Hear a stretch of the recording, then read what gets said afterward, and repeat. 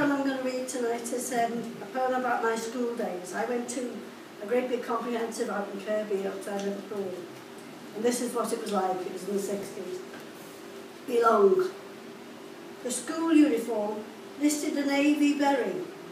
Mother insisted. But nobody wore them. Over the fence then, before it's noticed. Acceptance, whatever the consequence. You must fit in. That's all that matters.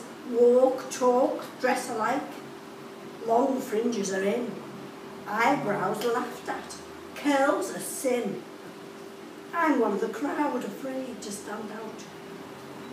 Second years all smoke, compulsory here. Locked in the lobby until you can do it.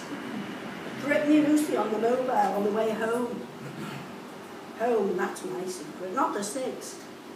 I never could take any friends home. My sister went to a high school named after a queen.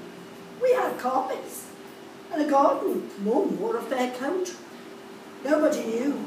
I was ashamed and dismayed. My friends lived on the, in the flat on the estate, where they never pay rent or back horses, play bingo, burn their dolls in winter. Kids and mums pick pockets when dad's drunk. How could I compete with that? I worried. Guilt fell heavily.